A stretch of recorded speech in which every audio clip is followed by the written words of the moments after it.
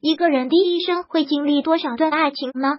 一次、两次，这可不一定，因人而异吧。男人以花心之称，当一个人男生经历世间百态，对待爱情，他就会像对待自己的事业一样认真。那么，做十二星座男的第几任恋人会最幸福？不妨接着往下看。白羊男第四任，白羊座人在感情上感知度很低，一点也不敏感。活该在爱情上失败连连。当白羊座人第四任恋人最幸福，第一任学习，第二任实习，第三任吸取教训，第四任游刃有余。在感情上慢热无知的白羊座人，让伴侣感到无可奈何，不知从何抱怨起，总有一种无力感。一定要经历比较多次的情感，才能渐渐醒悟。金牛男最后一任。所谓的最后一任，也就是走入婚姻殿堂的那一任。看似老实的金牛座，其实狡猾的很，而且索取有度，永远不可能付出在未知的地方。所以在还没走进婚姻殿堂的时候，是不可能对伴侣无底线的好的。在恋爱的时候，不可能一个劲儿的为你买单、付钱、付出所有、牺牲自己。只有当确定婚姻关系的时候。你才有可能享受到这种待遇。双子男第 N 人，看他心情吧。双子座的想法你别猜，有时候你以为自己是他最爱的那个人，可是过后才知道自己当初有多么愚蠢。其实并不是他们不用心，只是变得太快，让人捉摸不透，跟不上脚步。要问做双子座的第几任恋人最幸福，这得看他的心情。这种问题对于双子来说，永远是没有答案可言。也许是他的第一任最幸福，也许是最后一任，或者永远没有。巨蟹男最后一任，当巨蟹座的最后一任恋人最幸福，因为他一定是无比的依赖你，爱你，才肯把你放在最后一任恋人的位置上。你一定能享受到他与众不同的呵护，感受到家的温暖。巨蟹座的人温情浪漫、稳重有安全感，只要他把你当家人了，那么你就是幸福的。他们会让你感受到什么叫第一位。狮子男第一任，狮子座的人只有对第一任情人才会诚惶诚恐、忐忑不安，捧在手里怕摔了，含在嘴里怕化了，甘愿无视自己的自尊，践踏自己都无所谓。这就是初恋的魅力。不过。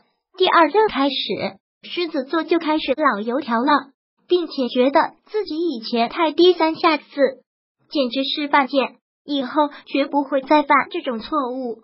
狮子还是十分理智的，除了一开始被爱情动摇了心智。处女男每一任，每个跟处女座恋爱的人都能享受到妈妈爸爸般的呵护，这是名副其实的挚爱。每一次的爱情，处女座都认真的去对待。严格要求自己当一个合格的伴侣，为对方做一切事情，比如做家务，他们一定尽自己所能打造一个让对方觉得舒适的家。不论哪一任统一对待，处女座要么爱，要么不爱，宁缺毋滥，没有将就一说。天秤男每一任都差不多，天秤座的人做事喜欢将就，马虎行事，在爱情的面前。他们也延续做事随便的风格，糊弄过去就行。爱是什么呀？互相取暖而已。在摇摆不定的天秤面前，几乎没有专一的爱。所以做他们的哪一任恋人都差不多。他们会绅士的请你先上车，给你夹菜，拿面巾纸，却不会在关键时刻做你背后的靠山。天蝎男每一任都太幸福，在天蝎座的眼里。自己就是重色轻友的，只要有了伴侣，那么朋友都是次要无所谓的。自己极其温柔的呵护对方，让对方享受深情款款的爱意，自己的每一任恋人都是太幸福了。不过他们的占有欲太强，对对方又太敏感，想要大占对方的一切，包括思想，有时候会让对方觉得窒息。那么是太幸福还是太不幸？只有天蝎座的恋人心里知道了。射手男每一任都不幸福，射手座人玩心太重，以至于对于爱情似乎过于淡漠。他们在历险旅游上的热情十足，像那火焰山的火一样旺盛。可是对待恋人就完全是另一回事了。他们的每一任恋人都不幸福。射手太粗心，永远往前看的性格，导致性格没有那么细腻，有时候让对方觉得不被在乎，却又从不吸取教训。走路的时候总是一个人随心所欲的走，从不顾及对方，也不会拉着对方过马路。摩羯男第三任，对于摩羯座来说，第一段爱情像童话，一碰就碎；第二段爱情像爱情小说，太重视对方太缠绵，落得了个玉石俱焚的下场。终于在第三段爱情的时候，懂得了进退有序，懂得了包容。懂得了怎么样去负责任，所以当摩羯第三任恋人是最幸福，让你享受最舒适的状态，最深情的表达，最温暖的关怀。